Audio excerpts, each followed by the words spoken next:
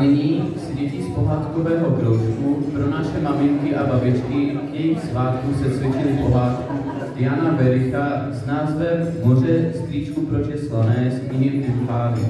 Usaďte se, udělejte si pohodlí, pohádka právě začíná.